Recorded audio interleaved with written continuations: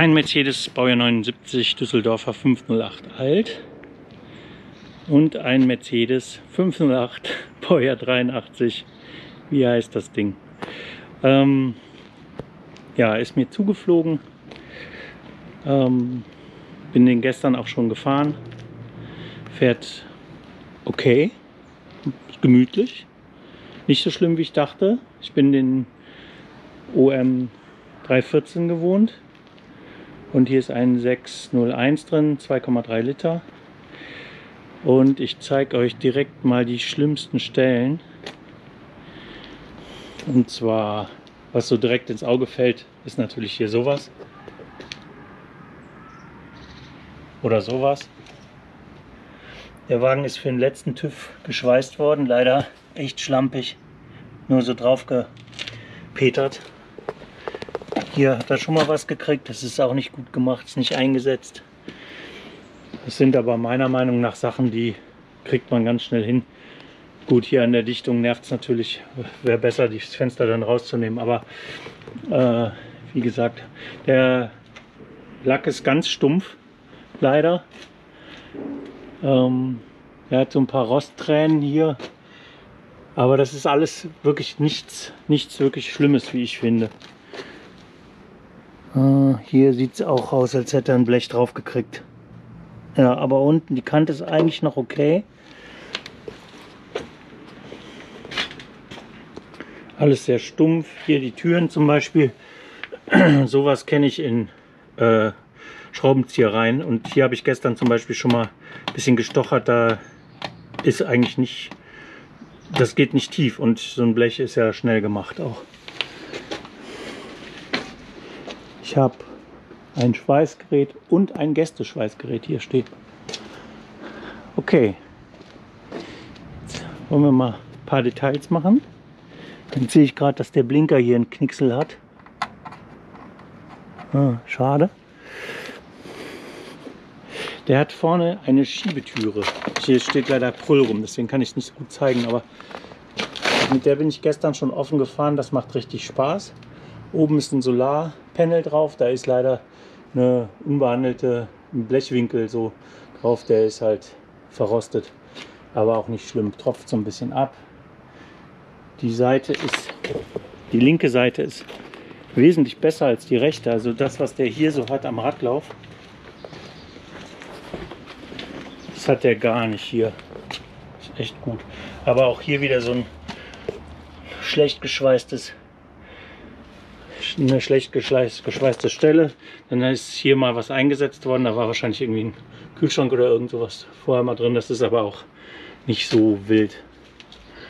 Ansonsten die Schiebetür hier ist super. Die funktioniert sehr gut. Jetzt gucken wir einmal hinten rein. Hat hier das Gasflaschenfach mit zwei Gasflaschen und einer okayen Anlage. Ich finde das ein bisschen komisch, weil die Leitungen hier so einmal komplett durch den ganzen Bus gelegt sind. Aber gut. Dann hier, das ist so eine Stelle, wo ich von meinem Bus auch viel Ärger her kenne. Und das sind, ist alles nur, äh, das ist alles relativ harmlos. Also da ist nichts, wo es wirklich durchgeht. Ähm, das muss man natürlich machen, aber das, wie gesagt, da muss man nichts schweißen, das muss man einfach nur mal vernünftig machen. Türen sind okay, gut, die ist super. Und die ist, ja, die hat da unten so ein bisschen, aber auch noch nichts, was man schweißen muss. Aber Rostschutz rein, dringend. Das ist der große Witz am Auto. Ich glaube, wenn man sich daran festhält, kommt er gar nicht vom Fleck. Also da kann man sich vielleicht von seinem Boot ziehen lassen oder so. Ich weiß es nicht, was das soll. Ist Käse bei dem Motor.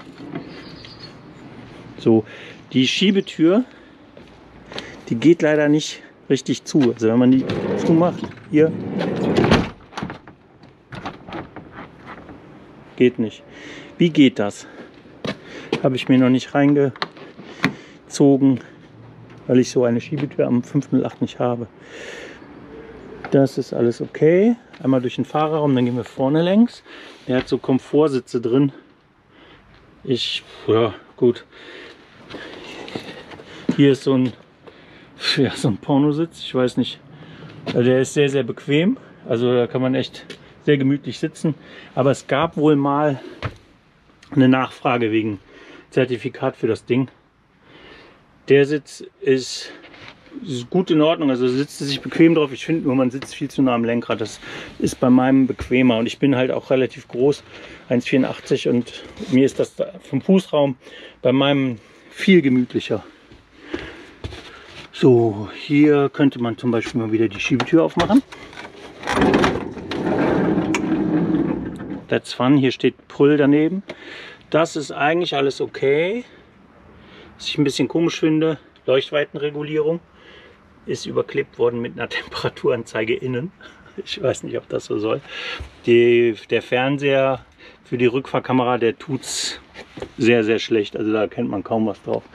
Dann ist hier der Himmel. Linke Seite ist okay. Rechte Seite leider nicht, weil dieses Campingfenster leider äh, nicht mehr ganz dicht ist. Das kenne ich auch von meinem. Da muss man einmal aufs Dach und das vernünftig wieder einkleben. Das ist über die Jahre bröselig geworden, habe ich schon gesehen. Das ist aber gut zu machen. Aber wegen dem Himmel ist es richtig blöd. Das ist richtig schade. Das hätte nicht sein müssen. Der ist zweigeteilt. Nuju. So, jetzt drehe ich mich mal um. Dann sieht man auch, ich mache mal die Schiebetür auf, zeige euch den Herd so lange. So, hier, da sind so Kinderstockbetten drin und das mag ja ganz witzig sein, aber wer außer jemand mit zwei Kindern braucht das? Die sind ganz schnell rausgebaut, das ist einfach nur Schreiner, äh, sind noch nicht mal Tischlerplatten, doch sind Tischlerplatten oder Fichte massiv, keine Ahnung. Hier waren so die Kindernamen drauf. Ganz süß. Die Matratzen sind übrigens super. Das sind so richtige, also nicht nur Schaumstoff, sondern das ist irgendwie was Besseres. Wer will die haben? Ich verschenke sie gerne. Jetzt kommen sie auf den Müll. So, jetzt hinten gibt es eine Sitzecke mit einem Hochklapptisch. Und so Stauräumen, die man aufklappen kann. Da habe ich noch gar nicht reingeguckt. So, Fächer halt. Ne? Äh, die Matratzen sind super, überhaupt nicht versifft, alles bestens.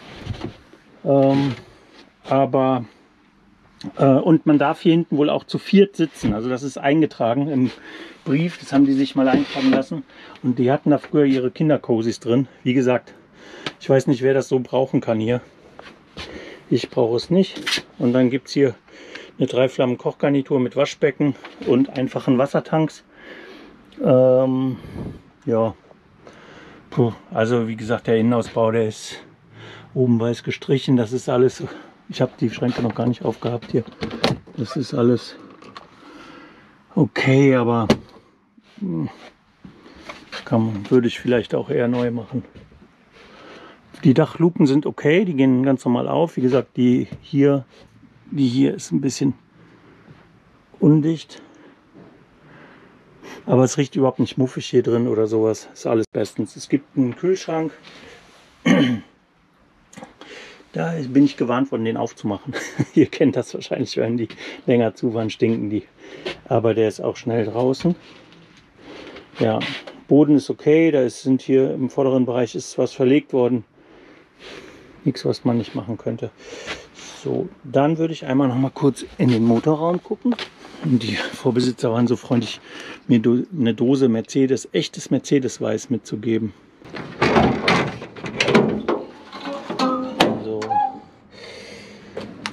Das sieht jetzt ein bisschen schlimmer aus, als es ist, weil äh, wir haben ein, aus Versehen ein bisschen zu viel Öl reingegossen beim Nachfüllen. Dann war der so ein bisschen Überstrich und hat direkt oben mal ordentlich rausgekommen äh. Hier oben ist ja jetzt alles ölig, da ist aber überhaupt gar kein Öl. Also der Motor ist eigentlich trocken, läuft super, 130.000 runter. Ich habe jetzt mal schon mal einen Ölfilter gekauft, frisches Öl, weil das sicherlich nicht mehr so richtig toll ist. Hier ist ein Ölwechselintervall von, achso, da steht nichts drauf, kann man nicht lesen. 141. Ach so, spätestens bei Kilometer 141. Okay, so gesehen könnte man noch fahren, aber das ist von 19. Also ganz schnell mal einen Wechsel machen. Der stand jetzt wirklich die letzten 4, 5, 6 Jahre einfach nur rum. Das ist alles okay. Da ist auch kein Rost. Sieht sehr gut aus. Aber vielleicht bin ich auch ähm, vielleicht bin ich auch äh, sehr viel Schlechteres gewöhnt. Die Leuchtweitenregulierung hatten wir ja, also da ist irgendwas dran angeschlossen, aber es gibt keinen Regler mehr. Ja. Also hier ist eigentlich alles okay. Was mich jetzt mir direkt ins Auge fällt, ist, dass der Gummi Schubstange vom Antrieb wahrscheinlich ein bisschen marode ist. Das müsste man dann hat der TÜV aber nicht bemängelt. Hm. Und das wird sicherlich nicht in den letzten paar Tagen passiert sein. Hier ein Stück Auspuff, das sieht sehr neu aus. Ja, von hier aus ist der Motorblock jetzt ein bisschen ölig. Ich sehe das zum ersten Mal. Da ist so eine Halterung angeschweißt, aber das ist ja. Jo, jo, jo, jo. Also Rahmen ist alles okay. Ist wirklich sehe ich jetzt auf den ersten Blick nichts zu machen. Reifen sind super, finde ich. So, jetzt, jetzt liege ich hinten unterm Auto und hier müsste der eigentlich schlimm aussehen und das ist echt... Ja, okay, das ist halt, also jeder, der ein Auto mit dem Alter hat, äh, der würde sich freuen, finde ich. Also ich wirklich, ich bin von meinem Düdo ganz andere Sachen gewohnt. Das ist hier gar nichts. Es ist wirklich, da hat dann mal ist das mal ein bisschen hochgekommen. Ja, nun, also wirklich nicht schlimm. Der bremst sehr, sehr, sehr gut. Also da bin ich aber auch mit den Trommelbremsen vom Düdo natürlich überhaupt nichts gewöhnt. Okay, das ist jetzt Auspuff Tankseite. Ja, auch hier, gut. Da ist das Wagenheberaufnahme da. Drückt man den da hoch, hm. Also das finde ich auch gut hier. Frage an die Profis, werden bei den Kreuzgelenken, wird da nicht abgeschmiert, wie beim Düdo, weil die sehen zwar noch okay aus, aber da ist überhaupt gar kein Fett dran. Muss da nicht Fett dran, also Schmiernippel. Okay, das ist jetzt vorne am Lenkgetriebe, Servolenkung. Ja, also da sieht man natürlich theoretisch Rost, aber auch da weiß man ja, das ist nicht wild. Da an der äh, Hausaufnahme ist auch ein bisschen was, aber auch da es ist halt einfach nur der ganz normale Flugrost. Das ist nicht schlimm. Das ist äh, mit ein wenig Overtrol oder sonst wie gut in den Griff zu kriegen. Da oben finde ich, sehe ich eine Stelle, die finde ich jetzt da.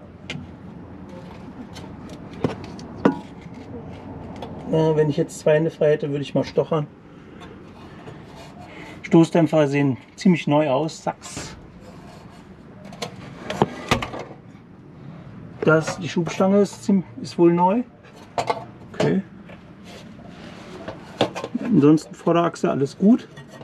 Ich bin gespannt, was aus uns zweien wird.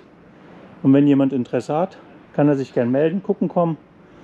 Leider keine grüne Plakette, H-Kennzeichen, ja, müsste man gucken. In dem Zustand wird das auf jeden Fall nichts und der Ausbau muss ja zeitgenössisch sein und älter als 20 Jahre und, und, und. Da gibt es ja ganz, ganz, ganz viele Meinungen und Wissende. Äh, immer raus damit. Da muss ich mal gucken, äh, ob man den auf ein H-Kennzeichen kriegt. Ich wohne leider in Köln, also ich bin jetzt einfach reingefahren. Ansonsten mache ich den über die nächsten Monate hübsch. Danke fürs Zuschauen.